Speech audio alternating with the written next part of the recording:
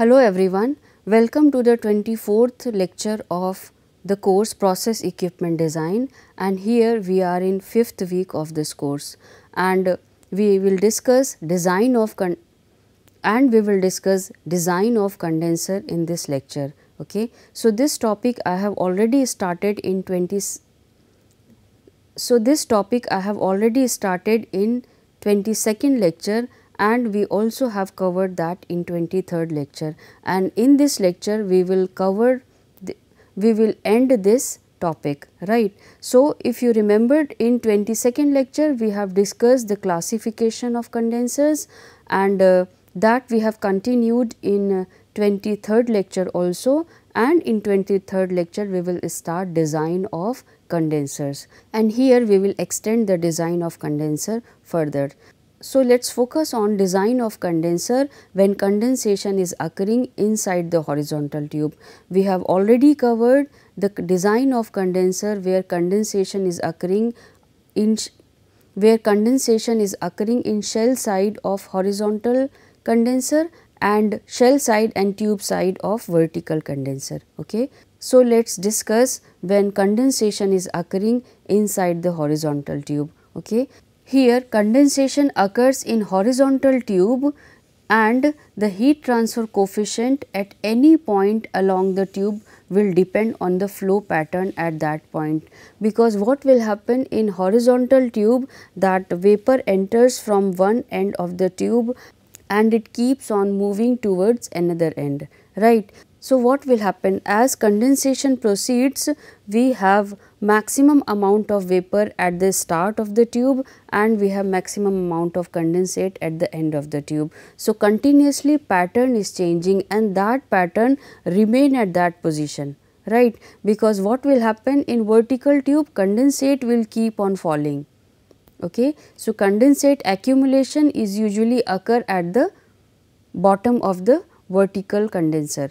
However, in horizontal condenser that accumulation in maximum amount is occurring at below surface of the tube inside the tube right. So, it will offer more and more hindrance in the path of condensation. Okay. So, in such condensers the heat transfer coefficient will depend on the flow pattern inside the tube. Okay. So, let us discuss the pattern inside the horizontal tube and that you can understand through this schematic. When the fluid is entering or we can say when the vapor is entering in the tube it is at pure vapor form okay? And when it will come across with the surface which is available at lesser temperature than the vapor condensate will start from this surface only okay and here you see we have the condensation formation and as we proceed further we can find that condensation thickness we can find that condensate film thickness will keep on increasing. So, this section we basically call as annular flow because at the periphery of the tube we have condensate film and at the center we have vapor. So, that is so that is a form of annulus okay?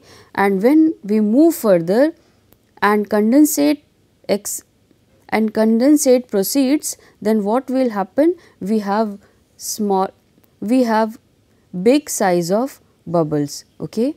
And because complete condensation is not occurring. However condensation will be more in comparison to vapor. Therefore vapor will be available in bigger size bubbles.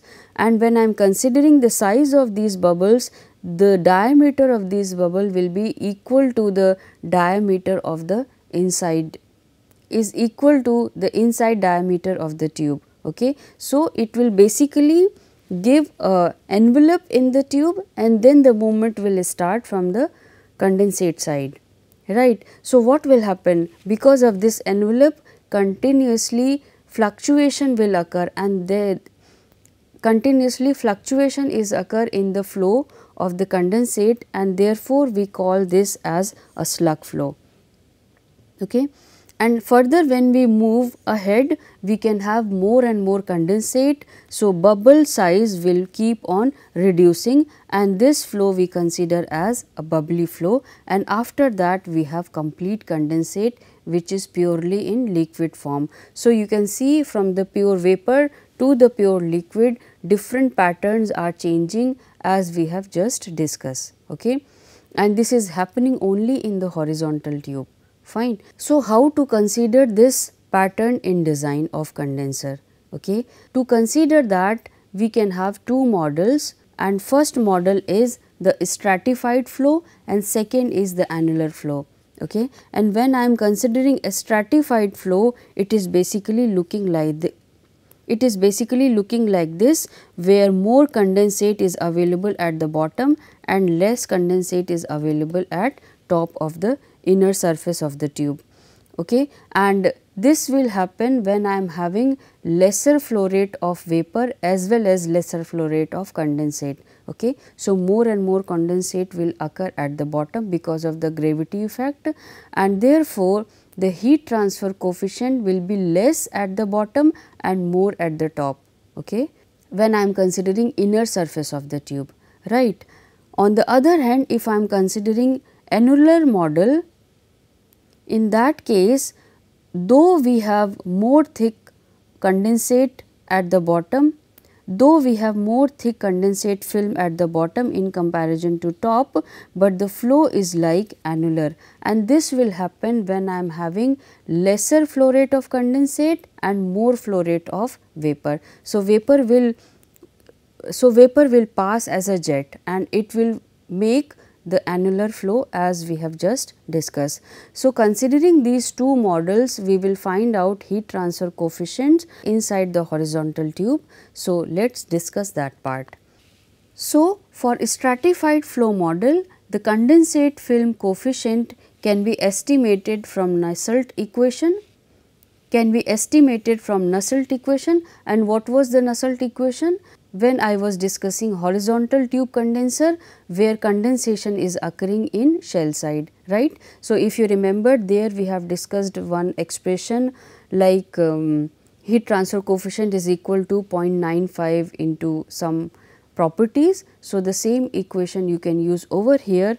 However, however because of uh, variation in uh, because of the variation in condensate film thickness, we should consider some correction factor and that correction factor is usually 0.8. Okay. So, if you consider 0.95 into 0.8, we can have the correlation like 0.76 into the properties fine considering tube loading also. So, 0.76 is basically 0.95 into 0.8 and uh, here we should consider that we can obtain slightly lesser heat transfer coefficient in comparison to Nusselt equation and the reason is very simple because I am having variation in the thickness of condensate film inside the tube. Okay. And further if I am focusing on annular side flow in that case you should consider Boyko-Kruzhilin correlation which we have discussed in the last lecture. Okay. So, that Boyko-Kruzhilin correlation so, that Boyko-Kruzhilin correlation can be used here also. So, here I am having stratified flow as well as annular flow.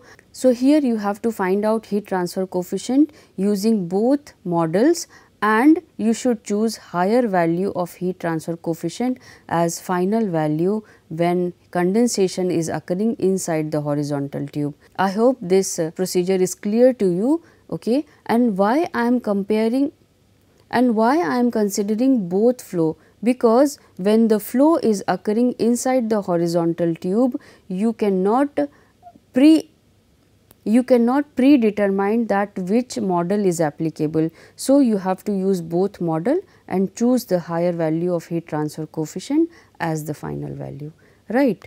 So, in this way we complete the design of condensers of shell and tube type and Further we will discuss few more points. And here we have condensation of steam. And here we have the condensation of steam. Now condensation of now steam is frequently used as a heating media okay? And the film coefficient for condensing steam can be calculated using methods already discussed, but as the coefficient will be high we rarely be the limiting coefficient, it is compulsory it is customary to assume a typical value for design purpose because condensation of steam coefficient will be higher in comparison to whatever methods we have discussed. Okay. So, usually we consider a typical value which is around 8000 watt per meter square degree Celsius as the coefficient of the steam. Okay. So, you should keep in mind what you are considering as a feed. It is vapor or it is steam. And accordingly you have to choose the coefficient value right? And now we will focus on mean temperature difference okay? Because when you are going to design a condenser you have to calculate heat transfer coefficient. You need mean temperature difference and then only you can find out the area right as far as mean temperature difference is concerned, we have different points over here.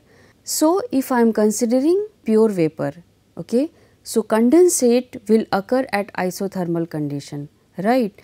However, the coolant temperature will keep on varying. Okay. So, if you see when I am considering pure condensate, so if you see when I am considering pure vapor, in that case only condensation will occur condensation will occur and that should be at constant temperature right and this condensate will give its heat to the coolant right. So, coolant temperature should be available below. Okay. Now, as coolant is having a sensible heat transfer, its temperature will keep on changing from inlet to outlet. However, temperature will not change in condensation side. So, what will happen if this is T A and this is TB, what will happen? In this case, in this case the exit temperature of coolant will never be more than the saturation temperature of condensate right. So, in this case how you have to find out mean temperature difference you should consider log mean temperature difference. Okay. So, here T saturation it means the temperature of uh, condensation and T1 and T2 are inlet temperature and outlet temperature of the coolant. So, in this way you can find out LMTD okay, irrespective of the counter current flow and co-current flow right. And further if I am asking that instead of pure component if I am having mixed vapor okay, if I am having mixed vapor then how the condensation will proceed. In that case condensation will not any more as an isothermal condition. And the reason is very simple because if I am considering the mixed vapor, each component which is available in that mixture has different dew point. Okay? And accordingly, we can have different temperature at which condensate of each component will be obtained. So, in that case, we can have non-isothermal condition in condensation side along with the same non-isothermal along with the same non-isothermal condition in coolant side. So, in that case if you see the profile it will be like this when it is co-current and it will be like this when it is counter flow pattern. Okay. So, in that case we may get the chance where temperature cross occur okay, we may get the chance where I am having the temperature cross and if this will happen it will not be good for design of condenser. So, if this is the case you should consider LMTD along with FT correction factor right. So, FT correction factor we should consider where I am having non isothermal in both side shell side as well as tube side. Okay. And the reason is very simple that here we have the chance to that here we have the chance to get the temperature cross. Okay. So you have to consider the mean temperature difference accordingly. Right. So i hope it is clear to you. And next we will consider another factors about condenser usually whatever expressions we have discussed that is based on condensation process only. However, in actual industry what will happen when the vapor is exiting from a particular equipment and entering into the condenser it pass through a complete pipeline right. So, in that pipeline heat loss must occur okay and when the vapor is entering into the condenser it should be at saturation condenser it should be at saturation condition otherwise condensation will start otherwise condensation will start in the pipeline only. To ensure that the vapor should enter in the condenser at saturation condition, we keep the vapor at little bit higher superheating condition. Okay. So, in that case vapor will be available at superheated condition and because of the heat loss when it is entering into the condenser it should reach to the saturation condition. Okay. Now, what will happen when vapor is available at superheated condition? First de-superheating will takes place and which is a non-isothermal process right because at that point it will transfer sensible heat and when it will reach to the saturation condition then the condensation will proceed and after that we can obtain certain amount of subcooling also because after that the condensate may go to the storage vessel where a particular temperature is required. So, we can have some amount of subcooling also.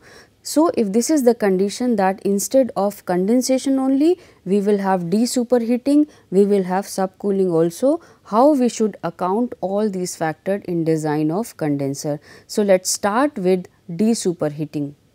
Okay. So, if degree of superheat is large, it will be necessary to divide the temperature profile into sections and determine the mean temperature difference and heat transfer coefficient separately for each section. Okay. So, if degree of superheat is large, how much large? It should be more than 25 percent of the latent heat which is involved in condensation process, right.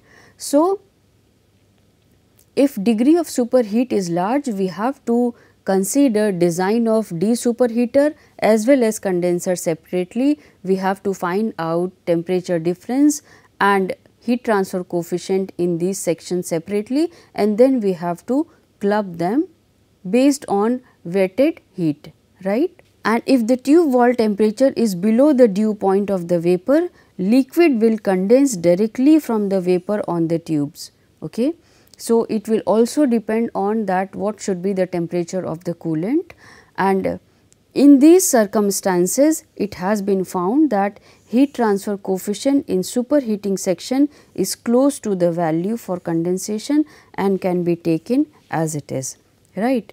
And further we should consider the case where superheating is not much. Okay. So, if the amount of superheating is not excessive let us say it is less than 25 percent of the latent heat load in condensation in condenser and the outlet coolant temperature is well below the vapor dew point, the sensible heat load for de-superheating can be lumped with the latent heat load. Okay. So, if de-superheating amount is less than 25 percent of the latent heat, we should add that load into latent heat and design the condenser based on the total heat load. Okay. And in that case how we should count the heat transfer coefficient? Let us see that. In this case the heat transfer area required can be calculated using mean temperature difference based on saturation temperature not the superheated condition and and we can further estimate the condensate film heat transfer coefficient. So, you should consider the total heat load which includes latent heat as well as heat of de as well as heat of de-superheating.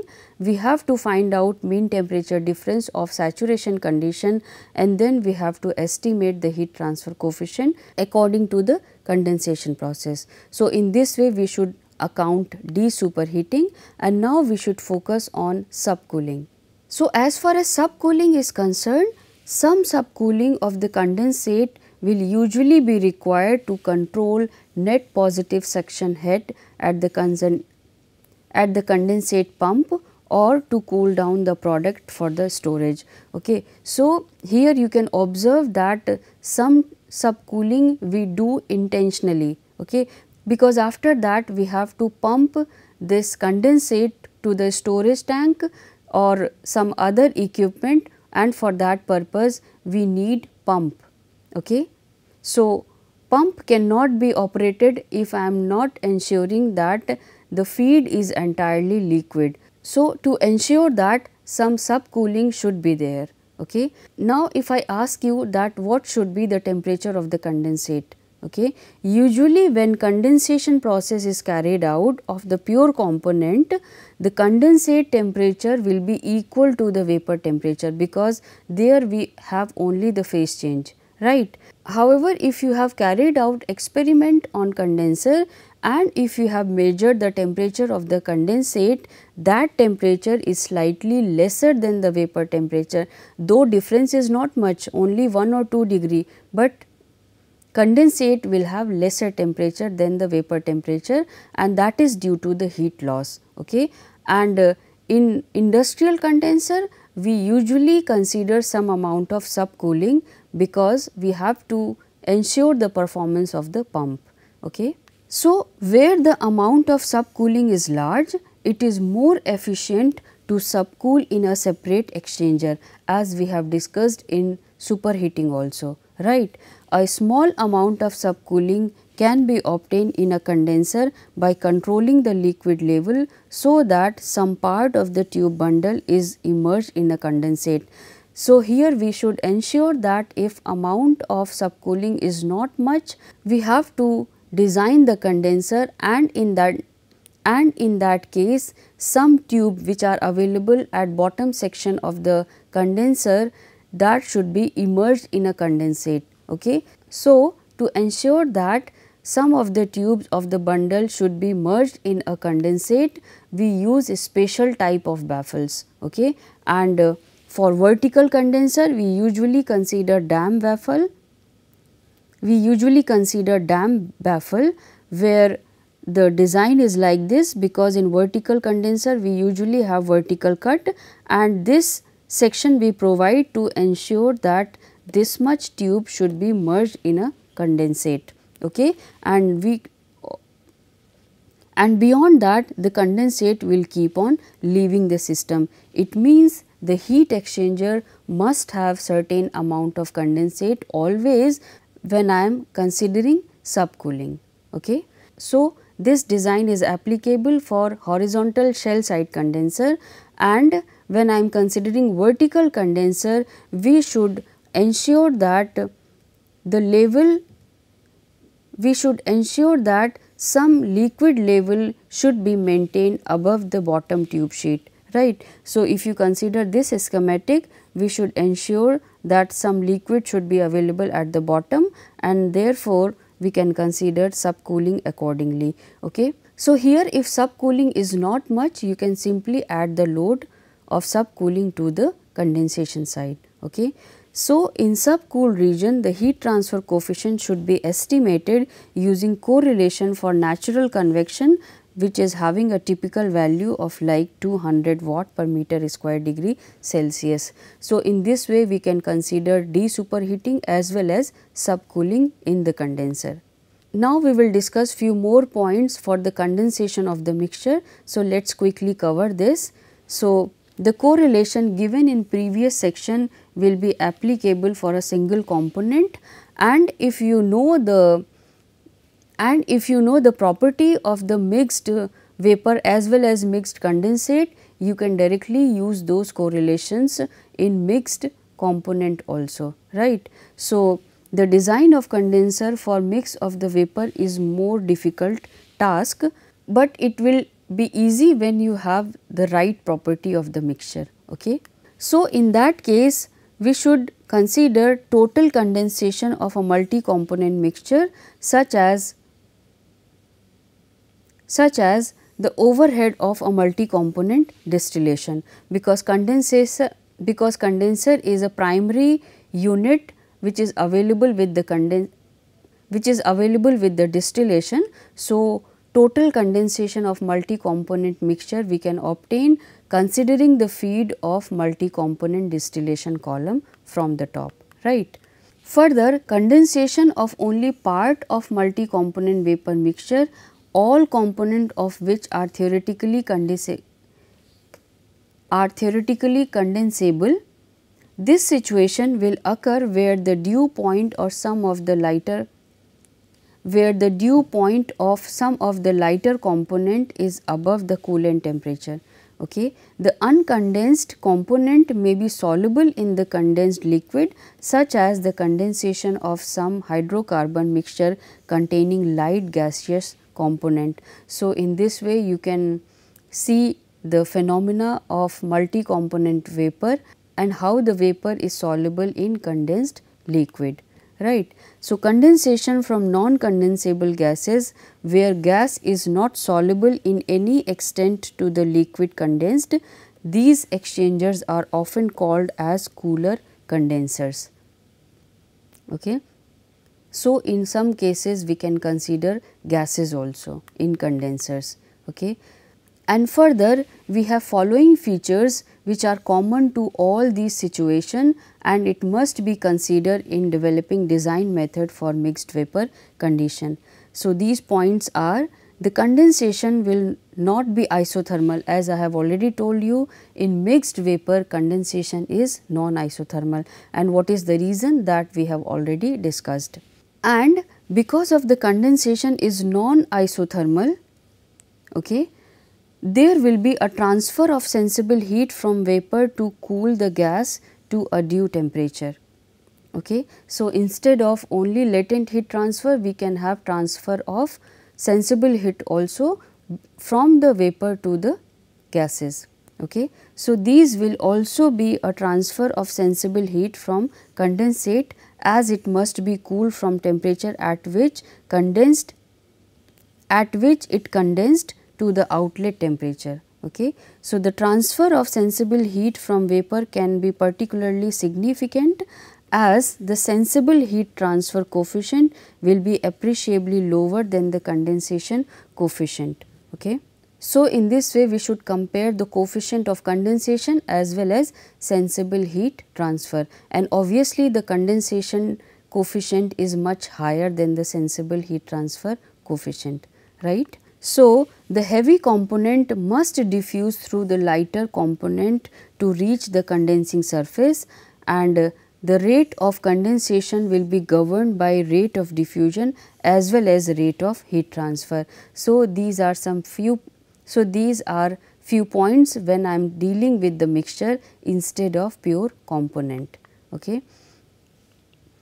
And now lastly we will focus on the pressure drop because this is also an important parameter as far as design of condensers are concerned. So, how I should consider the pressure drop in condenser?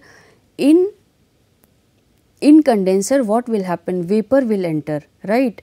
But as condensation proceeds, the amount of vapor which is available it will keep on decreasing and amount of condensate will keep on increasing right. So, in this way continuously flow rate of the vapor is changing which is very difficult for count which is very difficult to count as far as pressure drop calculation is concerned. So, the pressure drop on the condensing side is difficult to predict as two phase are present and vapor mass velocity is changing throughout the condenser. To account this non-linearity, we apply some factors to find out the actual pressure drop in condenser side, right. So, the usual factor is 50 percent which is suggested by Kern okay, and this is applicable for total condensation and this is applicable for total condensation. In this course, I am not focusing on partial condensation and whatever pressure drop you will obtain in condensation side, just consider half of that as the pressure drop in condenser right and for second side where coolant is available whatever pressure drop you will obtain you consider that as it is okay so so here i am winding up the design of condenser and uh, you can have some references to go through about the topic in detail. And here I am summarizing the video. And this summary is of 22nd video, 23rd video and this video also. As in these three video I have covered the topic design of condenser. So, let us see the summary of these lectures. As in these lecture we have discussed application of condenser types of shell and tube condensers along with its main component and we also and we also describe design of different types of shell and tube condenser depending upon the heat transfer coefficient as well as pressure drop. Further we have considered Further, we have discussed de-superheating and subcooling condition in condensers and finally, pressure drop computation and finally, pressure drop computation in condenser is described. So, that is all for now. Thank you.